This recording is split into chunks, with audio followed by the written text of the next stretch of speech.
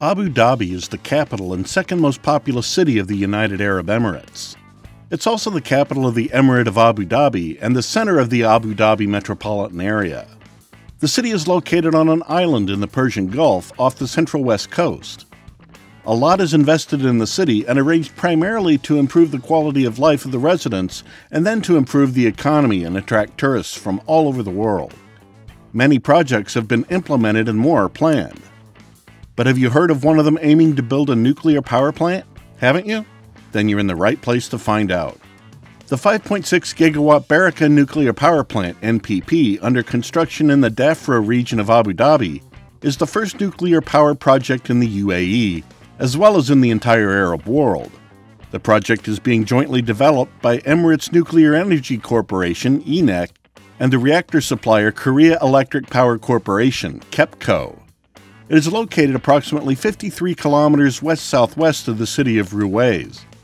Nawah Energy Company, a joint venture formed by ENEC and KEPCO in 2016, is responsible for the operation and maintenance of the NPP.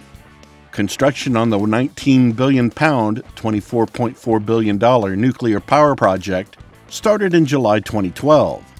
ENEC installed the condenser in February 2014 and the first reactor vessel, RV, in May 2014.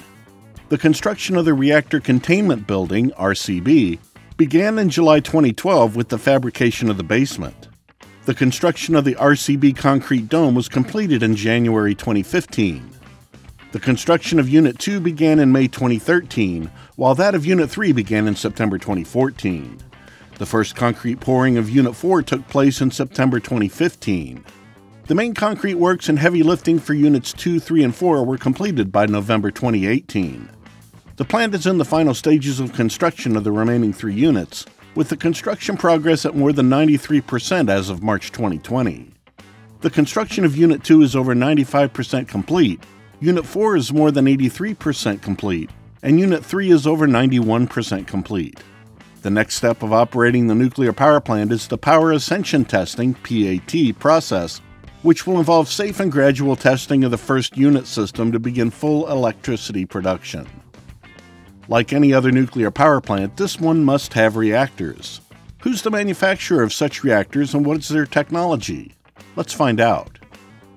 The Barakah nuclear power plant is equipped with APR 1400 nuclear reactor technology, which was developed by the Korean nuclear industry under the leadership of KEPCO. The reactors are licensed by the Korean Nuclear Safety Regulator, the Korea Institute of Nuclear Safety, and are expected to have a lifespan of 60 years. The Advanced Power Reactor 1400 megawatt APR 1400 is an upgraded version of OPR 100, the Optimum Power Reactor 1000 megawatt, the first standard pressurized water reactor PWR plant in Korea. The plant's reactors have been adapted to suit the climatic conditions of the UAE. The reactors have larger pumps, plant cooling, and seawater intake systems, improved ventilation, and a more refined intake screen design. The APR 1400, a Generation 3 Plus reactor, consists of advanced features such as direct vessel injection from the safety injection system, a passive flow regulation device in the safety injection tank, an in containment refueling water supply system, and systems for severe accident mitigation and management. The reactor features two steam generators that transfer the heat of 4,000 megawatts from the reactor coolant system to the secondary system, producing steam to drive the turbine generator that will produce a net electrical power of 1,400 megawatts. This plant is designed in detail, planned, and carefully built. Even the facility is designed to withstand earthquakes of magnitude 7.0 on the Richter scale. However, despite all that, there is also criticism. In March 2019, Qatar lodged a letter of complaint to the International Atomic Energy Agency, IAEA, regarding the Barakah nuclear power plant, stating concerns about its safety and lack of cooperation with regional states on the project, as well as that it poses a serious threat to regional stability and the environment. The UAE denied that there are safety issues with the plant, stating that Barakah adheres to the highest standards of nuclear safety and security. The completion of the entire project is announced for 2023, of course, with previous numerous tests of nuclear consumption. We believe that there will be no delays in the planned period and that the plant will start working regularly when it was planned. What do you think about this project? Do you like it? Tell us your thoughts in the comment section below because we'd like to know your opinion. When you write a comment or critique, focus on the three famous clicks like, subscribe, and notification bell.